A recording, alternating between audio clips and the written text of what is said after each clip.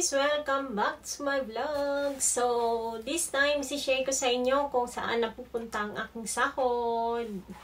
So, disclaimer kasi iba-iba tayong sahod guys. So, this time, magkano ba yung sinasahod ko na basic salary?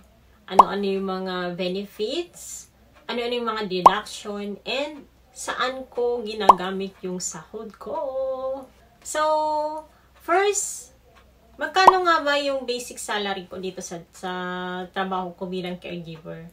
So hindi hindi tayo pare-parehas ha. So itong sasabihin ko is i-convert ko na siya sa peso. So ang palitan na halimbawa is ang isang lapad is nasa 4,500.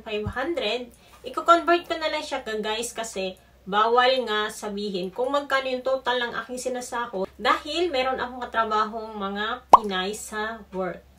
And iba-iba yung, yung sinasahod namin. So, kabilin-bilinan na wag, i, wag ikikwento, wag i-reveal kung magkano yung sahod ko. So, kung i-convert mo siya sa 45 isang lapad, umaabot lang siya ng 65k. 65,000 pesos. So, hindi siya ganun kalaki kasi kasi meron akong mga kakilala na ang sahod nila is malalaki nasa mga inaabot ng 100k yung basic salary nila. Dahil provincial rate kami, ito lang yung talagang abot ng sahod namin. So, bukod sa basic salary ko, mayroon akong natatanggap na qualification allowance. So, depende ata kung yung, ano mo, yung menkyo or license mo is kung Kaigo Fukushishi ka, mas malaki siguro kasi yung license ko is basic lang. Then, kung i-convert mo yung qualification allowance ko sa isang buwan, is nasa 1,300 pesos lang. Then, transportation allowance, dahil ako ay may sasakyan, meron akong gasoline allowance na umaabot ng 1,800 pesos in in a month. Kasi dito sa amin, once na yung kilometers mo, depende sa kilometers kung gaano kalayo yung bahay mo sa trabaho, ganun yung ibibigay sa yung allowance, transportation allowance. Then, night shift allowance. So, yung night shift allowance namin, bawat, bawat night shift is meron kaming 2,200 pesos na allowance. So, sa isang buwan is may limang panggabi ako. So, ang kinikita kong night shift allowance is 11,000 pesos.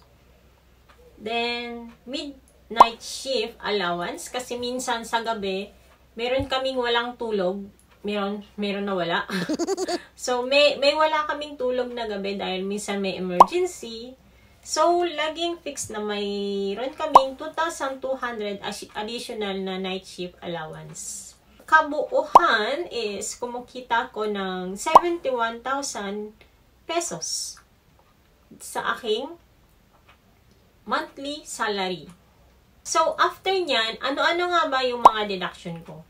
So, 71,400 pesos ko na tinotal, ano-ano ba yung mga deduction? So, hindi pwedeng walang deduction. So, first, kinakaltasan ako sa aking, para sa aking health insurance. So, yung health insurance ko, kung i-convert mo sa 4,500, pumapatak ko ng 3,900 every month na kinakaltas sa akin sa health insurance. Then, sa welfare pension naman, kung i-convert mo sa 4,500, kinakaltasan ako ng 7,400 a month. Then, meron kaming employment insurance na na nasa 2,500 every month dahil sabi ng asawa ko, itong employment insurance, halimbawa mag-resign ako, meron akong mak- matatanggap sa ano sa agency, parang agency dito na pwede kong pwede kung ilan yung percent ng sinasahod ko sa every month, tapos nag-resign ako, pwede akong makakuha nun. Insurance nga tinatawag nila. Then, income tax. Sa income income tax naman, kaya kaltasan ako ng 7,300 sa, sa every month. Then, next is resident, resident tax na kinakaltas sa akin is nasa 2,500 pesos. Then, company insurance for total is 11,600 pesos. Then, meron kaming fixed deduction dahil sa facility namin. Nasa 1,000 pesos every month. Kasi minsan yung mga party-party or ay mawa may boning kay kami or mga kung anong okasyon sa, sa trabaho namin, ito yung ginagamit namin. So, yung yung deduction ko is umaabot ng nasa 36,000 pesos or 36,200 pesos a month. So, yung salary ko is nasa 71 for 71,400. Then may deduction ako na 36,200 pesos a month. So, eto na, saan ko ba ginagamit yung mga sinasahod ko? Siyempre, tayo mga Pinoy, talagang ugali na natin magpadala sa Pinas. So, hindi ko na-indicate kung magkano. Basta ito yung mga ginagamitan ko ng aking sahod. First is padala sa Pinas, number one yan. So, monthly nagpapadala kami sa Pinas sa aking mga magulang. Minsan kasama na aking mga kapatid. Kung ano yung mga kailangan nila or yung mga pamangkin ko na ganito, may, may kailangan silang bayaran. Go! Kasi, kasi share your blessing. Pero, sinasabi ng asawa ko sa akin, huwag kang magpaubos, huwag kang magpaubos ng ano kasi ikaw nagtatrabaho, kawawa ka kapag ikaw yung nawalan. So, syempre, balance lang guys, balance. Then, meron din akong monthly allowance ko, na minsan umaabot din ng dalawang lapad. Minsan, hindi, hindi, minsan hindi, ako, hindi kasi ako magastos, mas gusto ko yung mag, mag-save kung kailangan, kung hindi ko naman kailangan yung isang bagay, hindi ako bumibili. So, next is investment. As you all know, marami ng investment dito sa Japan, guys. Or kahit sa Pinas. Pero meron akong isi-share sa inyo na isang investment na nasa 2 years na ako nag invest And then, makikita mo yung talagang kinikita mo sa isang sa isang investment na to. Hindi siya scam or hindi ko masabi na sumali kayo. Kasi, kasi hindi naman ako agent. Pero masasabi kong kumikita ako sa investment na to. Ito ang IMG na nag invest ako sa mutual fund. Then, meron pa silang ibang investment like Kaiser sa health.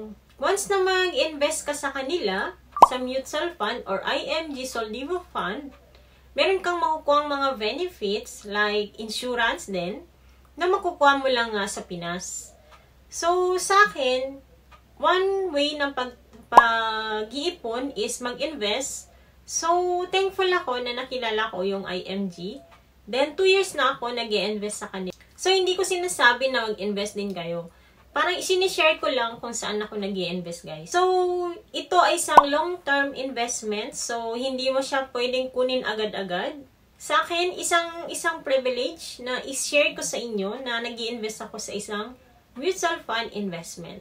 Then, yung cellphone, cellphone bill ko din is, ako na nagbabayad ngayon kasi nakakaya naman sa asawa ko, di ba?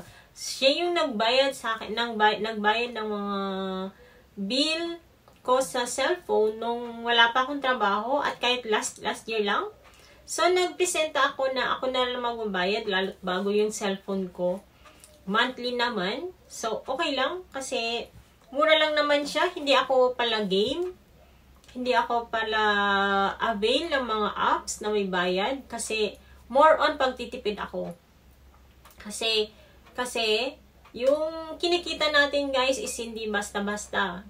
Hindi basta-basta yung hirap na dinadanas natin sa trabaho namin kung waldas lang tayo ng waldas. Then, number one din is for savings. Kailangan, tips ko sa inyo, kailangan para makapag-save kayo, huwag kayo mag-stick sa isang, isang bank book. Kailangan may tatlo kayong bank book na, na may ilalagay kayo na ipon or Then, mayroon kayong isang pinagkukuhanan lang mga credit. kailangan wag mo ilalagay yung pera mo lahat doon. Mer kasi ako, ang ginawa ko, imas, may tatlo akong saving bank account. Kung gusto kong, yung gusto kong ipon is dito ko lang ilalagay. Yung gusto kong mga credit, dito ko lang, yung pera.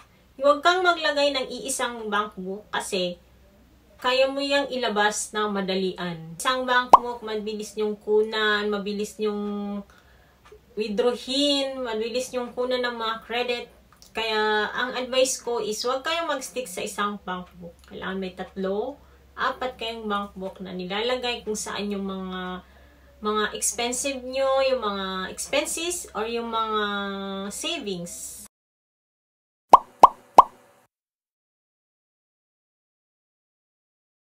So, sana may natutunan kayo or may nakuha kayong tips sa aking mga sinabi kanina pa. So, saigo made mite kurete arigatou gozaimasu. Mata kondo yoroshiku onegai shimasu. Yokatara shimasu ne. So, thank you so much sa laging panonood. Sayonara!